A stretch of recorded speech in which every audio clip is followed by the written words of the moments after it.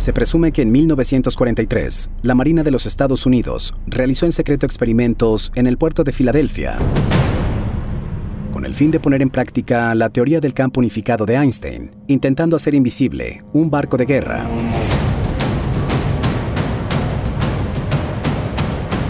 Tuvieron que pasar unas cuantas décadas después de aquellos acontecimientos para que en 1990 un hombre llamado Al Bielek declarara al mundo el verdadero objetivo de los experimentos, viajar en el tiempo.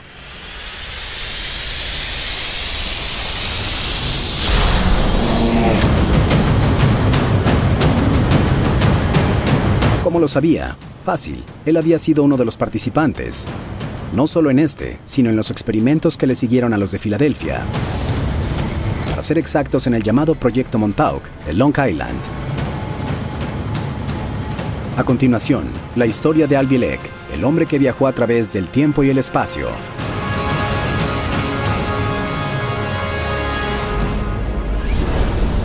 Soy Renevaldo y esto es Atrapados en el tiempo. un hombre común y corriente. Albielek nació en 1927, en el seno de la típica familia estadounidense. Llegada su juventud, su sentido patriótico lo orilló a integrarse a las filas de la Armada, esto para luchar contra los nazis. ¿En qué momento fue ascendido de oficial naval a viajero en el tiempo? Todo ocurrió mientras servía a bordo del USS Eldridge en 1943. Así es, el mismo barco que se volvió invisible aquel 28 de octubre, según el mítico Proyecto Filadelfia. La primera información que el mundo conoció sobre el experimento Filadelfia se originó a finales de 1955, de la mano del ex marino Carl M. Allen, cuando este envió un paquete con la copia del libro de Morris K. Jessup, The Case for the UFO, Unidentified Flying Objects, a la Oficina Naval de Estados Unidos. En el libro había escritas a maneras de anotaciones diversas referencias al experimento Filadelfia, entre ellas una donde Allen señalaba al científico Franklin Rino como responsable de realizar ciencia peligrosa en el astillero naval de Filadelfia. Más tarde relató haber estado presente en estos experimentos, incluso a bordo del barco invisible, mismo que fue teletransportado por unos minutos de Filadelfia a Norfolk, Virginia.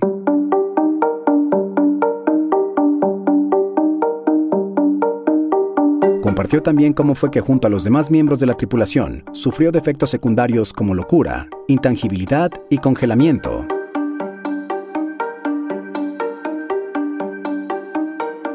aunque tiempo después otros testimonios apuntarían a varios tripulantes desaparecidos y otros fundidos en el metal del barco.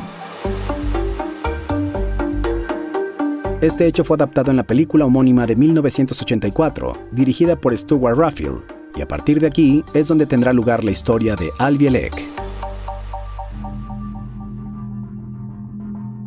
Luego de ver esta película, Al que para entonces tendría unos 57 años, comenzó a recordar cosas Aquello que se le había presentado en la pantalla le resultaba tan familiar que se sometió a varias técnicas y terapias de regresión, las cuales le ayudaron a recuperar con claridad sus recuerdos. Ya no había duda, él partió en ese y en los experimentos consecuentes, fue así que en 1990, durante una conferencia pública, Albielek declaró que formaba parte de la tripulación del USS Eldridge cuando sucedió el acontecimiento de Filadelfia.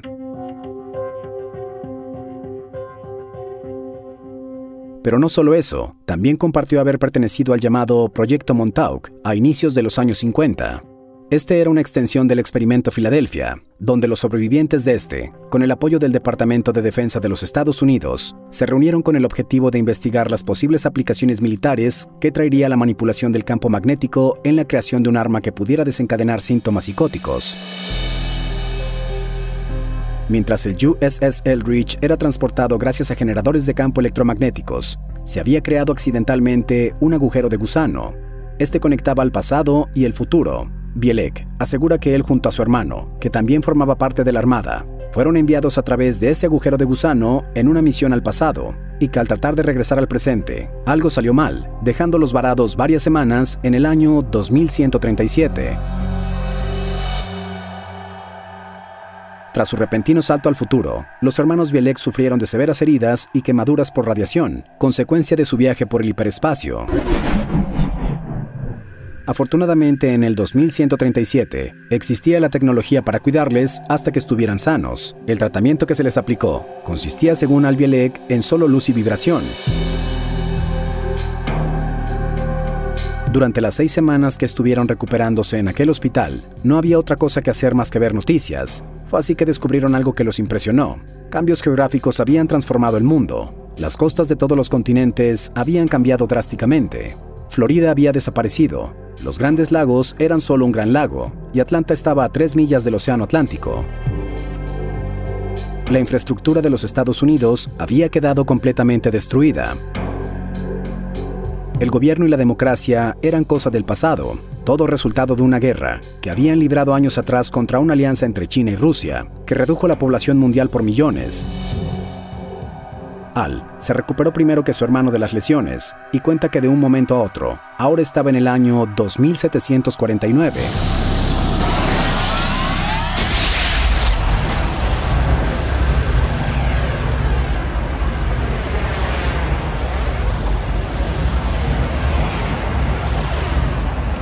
En este momento se estarán preguntando lo mismo que nosotros, cómo y por qué viajó de nuevo al futuro. Pues bueno, Bielek se limitó a declarar que nunca terminó de comprenderlo, ni de recordarlo. En 2749, permaneció por un periodo de dos largos años.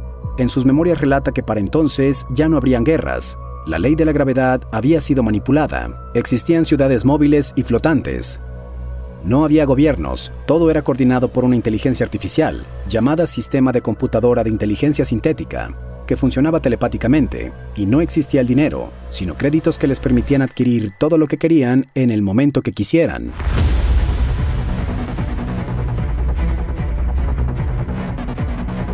Nuestro viajero experimenta más saltos temporales ahora en retroceso, el primero para recoger a su hermano en 2137 el segundo a 1984, donde conocerían a una persona llamada John von Neumann, que los convencería de regresar a 1943. Cosa que hicieron dando un tercer salto, que los pondría donde todo había comenzado. Al llegar a 1943, sus oficiales les confirmarían que habían terminado con éxito su misión.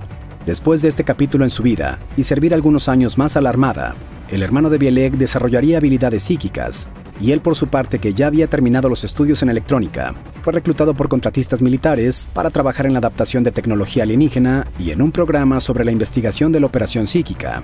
Sí, Bielek estaba siendo reclutado para formar parte del proyecto Montauk, y por qué no serlo, al fin y al cabo había jugado un papel importante en el anterior experimento Filadelfia.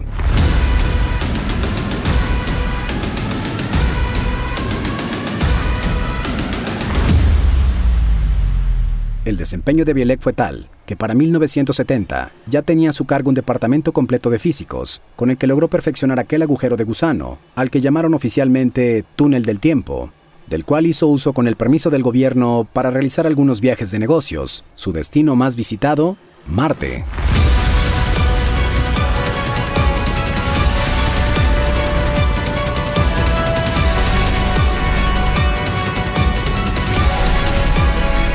Así como el proyecto Filadelfia inspiró a la película de 1984, y esta a su vez inspiró a la historia de Al Bielek, lo dicho en decenas de conferencias y entrevistas por este hombre, junto a lo detallado en el libro The Montauk Project, Experiments in Time, inspiraron al argumento de la serie Stranger Things, producida por Netflix. Por ejemplo, se cuenta que en Montauk experimentaron con el hermano de Bielek, quien podía mover objetos con la mente, habilidad que le valió ser utilizado por otros científicos como alguna clase de fuente de energía en diversos experimentos, entre ellos el conocido como The Seeing Eye, donde debía encontrar o ubicar a una persona valiéndose de algún objeto o pelo del susodicho. ¿Alguien dijo Eleven en el mundo del revés? De hecho, el título con el que los creadores vendieron el piloto provisionalmente fue Montauk, y antes de elegir a Indiana como el escenario de la acción, se tenía pensado que todo sucediera en el extremo oeste de Long Island.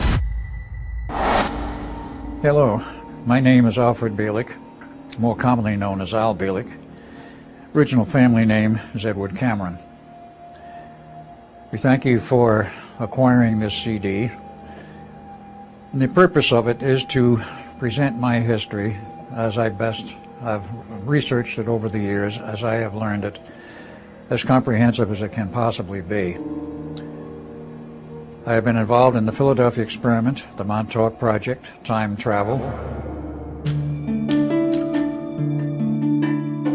Regresando a Albielek, entre las cosas que compartió haber recordado después de ver la película fue su verdadero nombre y el de su hermano, Edward y Duncan Cameron, respectivamente, sobre las lagunas y por qué no declaró antes su experiencia siendo parte fundamental de dos míticos experimentos, Bielek cree que todo fue obra del gobierno, que en algún momento todo comenzó a salirse de control y decidieron sacarlos de la ecuación borrando sus memorias y otorgándoles nuevas identidades. Bielek también cree que no fue lastimado o callado por las autoridades cuando salió en público a declarar su historia porque seguramente pensaban, ¿quién le creería a un loco anciano? Bueno, le sorprendería la cantidad de personas que lo hicieron.